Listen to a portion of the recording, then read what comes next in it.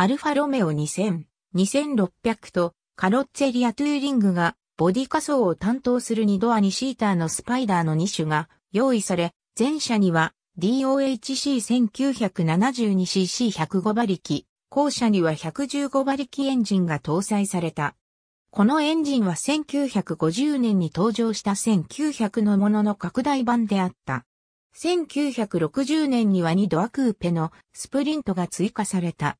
ボディ仮装はベルトーネが担当したが、デザインは同社のチーフスタイリスト、わずか23歳のジョルジェット、ジウジアーロの作品であった。彼のデザインによる生産者としては初期のものであるが、1960年代半ば以降のアルファロメオジュリア系の GT にも共通するシンプルかつエレガントな造形を特徴とした。1962年に2600に発展したため、2000の生産期間は短く、2814台のベルリーナ、3443台のスパイダー、704台のスプリントが生産されたに過ぎない。注目されるのは、アメリカ車的で鈍重なベルリーナよりも2座席のスパイダーの方が多数生産されたことで、高級車としてよりも、スポーティーカーとして市場に認知されていたことが伺える。実際、イタリアのプレステッジカー市場は V6.2 500cc エンジンを搭載するランチやフラミニアが握っており、ローマ教皇、イタリア大統領の公用車、駐日大使を含む在外交換の公用車の多くがフラミニア・ベルリーナであった。なお、ベルリーナはブラジルの FNM 社で1961年から現地生産され、車体をアルフェッタ風に改め、エンジンを 2300cc に拡大するなどして、1970年代末まで同国のプレスティッジカーとして生産された。ミラノの名門メーカーの威信にかけて、トリノのランチアに対する劣勢を挽回すべく、アルファロメオは2000の直列4気筒エンジンを直列6気筒の 2600cc に変更し、2600として再デビューさせた。デビューは1962年のジュネーブ自動車ショーで、当初のボディバリエーションは2000同様にベルリーナ、スパイダー、スプリントの3種であった。1965年のフランクフルト自動車ショーでは、ザガートのデザイン、製作による2座席スポーツクーペ、2600精霊士が追加された。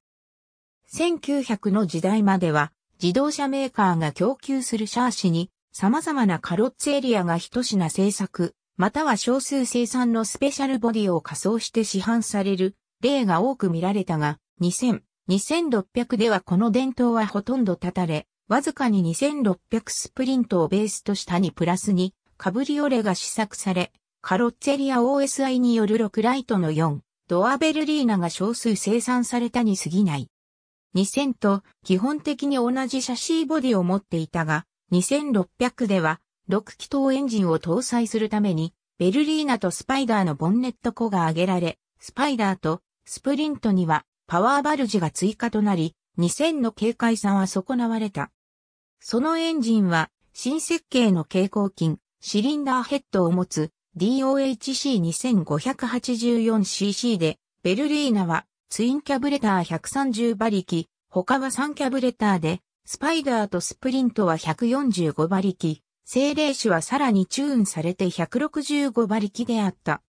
1968年に消滅するまでに2600ベルリーナが2092台、スパイダーは2255台、スプリントは6999台、精霊種が105台生産された。この生産台数は商業的に成功とは言い難かった。新しい6気筒エンジンは優れた設計であったが、1900と基本的に同一設計のままであったシャシーの前輪荷重を増す結果になり、もともと時代遅れになりかけていた操縦性を悪化させ、ノンパワーのステアリングの操舵力も重くなった。それは特に小型車クラスのアルファロメオ自身の傑作、ジュリア系がアルファロメオの名に恥じない仕上がりであった分、一層顕著であった。スタイリングの面でも、特に魅力に欠けていたベルリーナの販売台数が相変わらず少なかった上、ジュリエッタスパイダーを引き伸ばして魅力を希釈化したようなスパイダーもあまり好評とは言えなかった。かろうじて2600スプリントのみが、そのスタイリングと4シーターのグラントゥーリスモとしての実用性からシリーズ中のトップセラーとなった。2600系は1968年、前年にデビューしたジュリアの拡大版である1750系に交代する形で消滅した。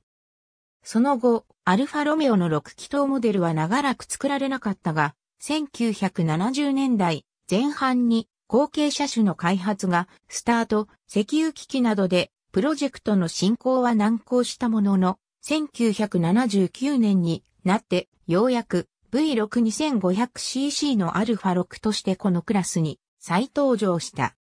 当時の日本へは厳しい外貨規制中であったため2000は輸入されなかったが、規制が緩和された1963年秋、国際自動車商事に代わってアルファロメオ総代理店となった伊藤中央とは輸入第1号車として2600スプリントを選んだ。